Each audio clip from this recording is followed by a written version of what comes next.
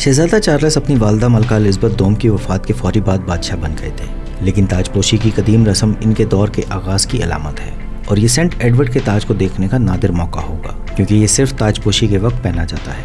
छह मई की दोपहर ताजपोशी की सदियों पुरानी रस्म के दौरान ये तारीखी ताज किंग चार्लस स्वयं के सर पर रखा जाएगा। वो इसे एक घंटे से भी कम वक्त के लिए पहनेंगे, और इसके बाद फिर कभी नहीं पहनेंगे। आज की इस वीडियो में हम बरतानिया के नए बादशाह की ताजपोशी, शाही लिबास, ताज की अहमियत और तारीखी कुर्सी के अलावा आपको वो तमाम मालूम देंगे जो आप जानना चाहते हैं। इसलिए हमारे साथ मौजूद रहें और वीडियो को आखिर तक ज़रूर देखें। गुजशत साल सितंबर में मलका एलिजबेथ के इंतकाल के बाद इनके बड़े बेटे शहजादा चार्लस फौरी नए बादशाह बन गए थे।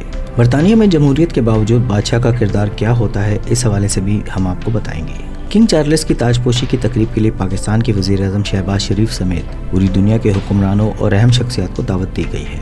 ताजपोशी के लिए तारीखी शाही स्टोन ऑफ़ डेस्टनी को स्कॉटलैंड से लंदन मुंतकिल कर दिया गया है। ये पत्थर बरतानवी बादशाहत के लिए मुकदस समझा जाता है और यह नवी सदी से बरतानवी और स्कॉटिश बादशाहों की ताजपोशी के लिए इस्तेमाल होता आया है। बरतानिया भर में शाह चार्ल्स की ताजपोशी के हवाले से जोशो खरोश पाया जाता है। इस हवाले से लंदन में मेले का सा समा है। ताजपोशी के लिए बाज़ार में यादगारी अशिया भी दस्तियाब हैं, जबकि इंग्लैंड में मौजूद एक चॉकलेट कंपनी ने चॉकलेट से बादशाह का खूबसूरत मुजस्मा भी बनाया है। वीडियो में आगे बढ़ने से पहले आपको बताते चलें कि बरतानिया में पार्लिमानी निज़ाम कायम है। इसलिए अक्सर लोगों के जहनों में यह सवाल जन्म लेता है कि जमहूरी हुकूमत की मौजूदगी में बादशाह का क्या किरदार होगा। तो आपको बताते चलें कि बरतानिया में बादशाह सरबराह मुमलिकत होता है। ताहम इख्तियार अलामती और रस्मी होते हैं। बादशाह को रोज़ाना की बुनियादों पर हुकूमत की जानब से सुर्ख चमड़े के एक डब्बे में पैगाम और दस्तावेजात भेजी जाती हैं। जैसे कि किसी अहम मीटिंग से कबल ब्रीफिंग या वो दस्तावेजात, जिन पर इनके दस्तखत की ज़रूरत है। जब पार्लिमान के ज़रिए किसी भी किस्म की कानून साजी होती है तो इसकी बाबा मंजूरी बादशाह से लेना ज़रूरी होती है, ताकि वो कानून का हिस्सा बन सके। आइए अब आपको बादशाह के लिबास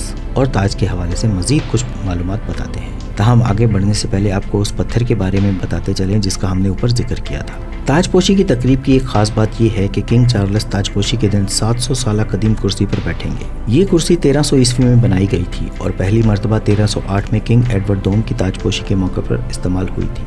इस तकरीब में वो रस्मात भी अदा की जाएँगी जो ज़माना कदीम से चली आ रही हैं। इसके अलावा कदीम ज़माने की अशिया भी सजावट के लिए रखी जाएँगी। इन्हीं में से एक तारीखी पत्थर शामिल है, जिसे स्टोन ऑफ़ स्कॉन कहा जाता है। ये तकदीर के पत्थर के नाम से भी मशहूर है। इस पत्थर को उन्नीस सौ तिरानवे के बाद पहली बार अपने मुस्तकिल मुकाम एडनबर्ग कासल से मुंतकिल किया गया है और बादशाह चार्ल्स की ताजपोशी की तकरीब के लिए इसे लंदन पहुँचा दिया गया है। इस पत्थर को बरतानिया के बादशाह की ताजपोशी की कुर्सी के नीचे रखा जाएगा, जिस पर शाह चार्लस छह मई को ताजपोशी के वक्त बैठेंगे।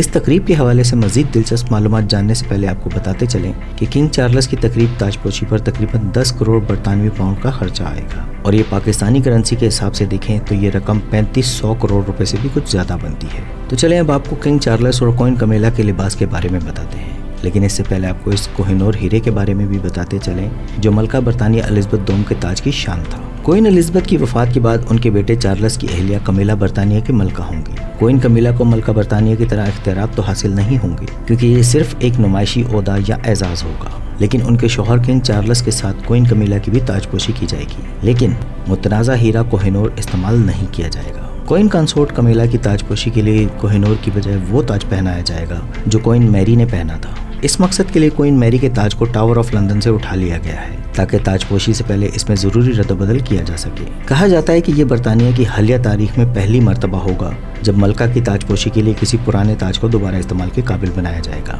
इस ताज में शाह चार्लिस की वालदा मलका एलिजबेथ दोम के जेवरात में से कुछ हीरे भी इस्तेमाल किए जाएँगे। वेस्ट मिनिस्टर एबी में होने वाली इस अजीम शान तकरीब में किंग चार्लस और इनकी अहलिया कमेला ताजपोशी के मौके पर मलबूसात के दो सेट इस्तेमाल करेंगे। दोनों तकरीब में आमद पर सुर्ख रंग का टेक्सीडो और रवानगी के वक्त एक शाही जामनी रंग का गाउन पहनेंगे। ताजपोशी की तकरीब के दौरान शाह चार्लस सोम को सेंट एडवर्ड का ताज पहनाया जाएगा। इस ताज को देखने का ये नादिर मौका होगा, क्योंकि ये सिर्फ़ ताजपोशी के वक्त पर पहना जाता है। किंग चार्लस इसे एक घंटे से भी कम वक्त के लिए पहनेंगे और इसके बाद ये फिर कभी नहीं पहनेंगे। 22 के रात सोने से बना 360 साल पुराना ये ताज एक फीट से ज़्यादा ऊँचा और दो इशारिया तेईस किलोग्राम वजनी है। आखिरी मरतबा सेंट एडवर्ड का ताज मलका एलिजबेथ दोम ने उन्नीस सौ तिरपन में अपनी ताजपोशी के वक्त पर पहना था और गुजशत सत्तर वर्षों में शायद ही कभी ये ताज टावर ऑफ़ लंदन से बाहर आया हो।